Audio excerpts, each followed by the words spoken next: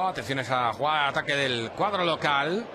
Por el centro se la lleva Augusto. Contraataque ahora del Celta. La pelota para Nolito.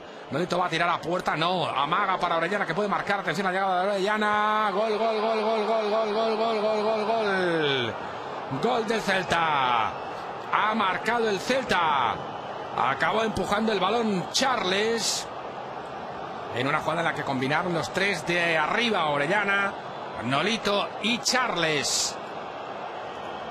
En el primer minuto del segundo tiempo acaba de marcar el Celta. Gol de Charles, el delantero centro del Celta.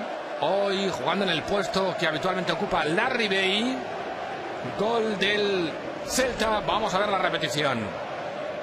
Ahí hay un error en un balón que jugaba Lucas, Augusto por el centro, Nolito que amaga y ve llegar a Orellana.